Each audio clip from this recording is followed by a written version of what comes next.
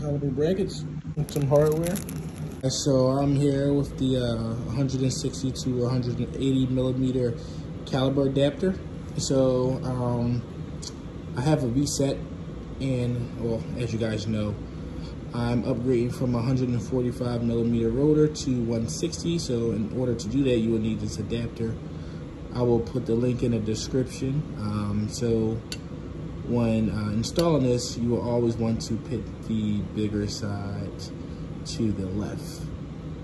Um, although the arrow is that way, but it's the opposite. So yeah, guys, um, that's about it.